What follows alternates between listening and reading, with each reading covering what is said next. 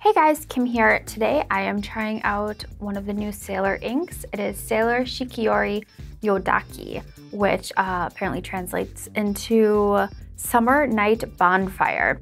And it's a really pretty red. Normally I'm not a red ink person, but this one is great and has some awesome sheen on it. Plus it comes in this super cute 20 ml bottle and I have it in the Sailor 1911 Realo in maroon and this one has a broad nib.